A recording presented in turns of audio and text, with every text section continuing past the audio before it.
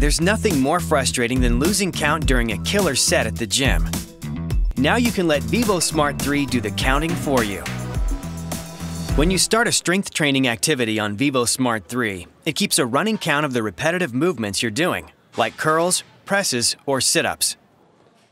Just wake up your device, then tap and hold to bring up the menu. Tap on the activity icon. Then swipe down to the figure holding a barbell. Tap again. When you're ready to start your first set, tap twice. Now you can begin curling, pushing, or crunching.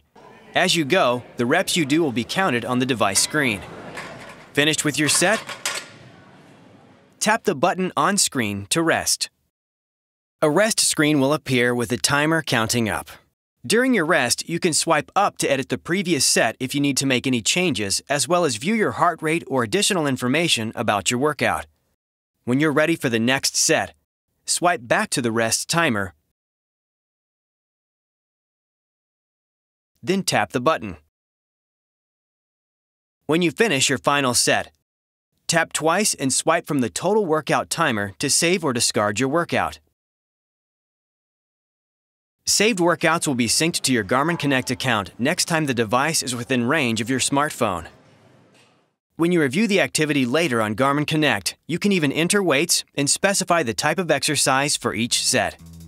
That's all for now. Thanks for watching. And remember to check out the other videos in this series to learn all about vívosmart 3.